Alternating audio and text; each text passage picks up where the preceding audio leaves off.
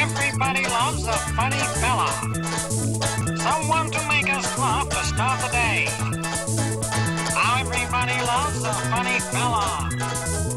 And there ain't none better than our own Ray Gray. Good morning. This is 11 a.m.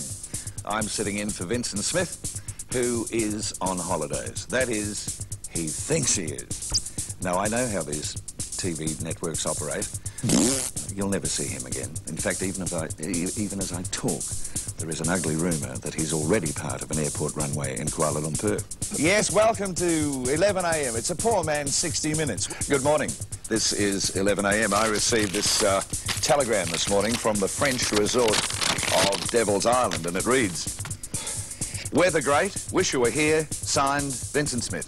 It's one of the difficulties I've discovered with serious news reading and presentation is that what I used to do in the past, and that is laugh when I got into trouble, you cannot do in this program. Oh! Ah, thanks, Ross. Those who take life serious are fools. Graham uses comedy for breaking all the rules. The establishment is not exempt. He pokes fun at the boss. Why, no one's free from Graham's wit, not even poor old Ross. Ross Symonds himself! Here's Noel Symonds now with the serious news. What would you like me to do? Take everything on. now go on. Yes, it's a bit camp. The crew hate you, Ross. Thank you, Graham. Thank you. Vincent, if you're watching, Director of News Ross is uncontrollable.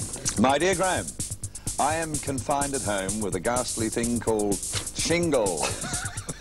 we'll be back to talk to the deaf people after this.